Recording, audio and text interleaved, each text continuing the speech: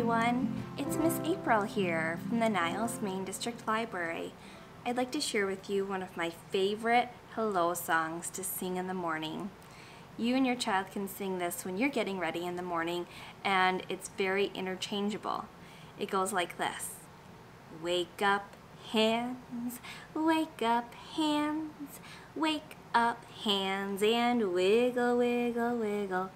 Wake up hands, wake up hands, wake up and wiggle in the morning. How about your, what are these? Ears. Let's wake up our ears. Wake up ears, wake up ears, wake up ears and wiggle, wiggle, wiggle.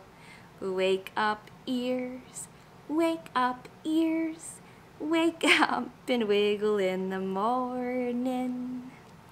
And you can put in anything you'd like. I even had a parent message me and say that their child was saying wake up eggs when he was eating breakfast in the morning.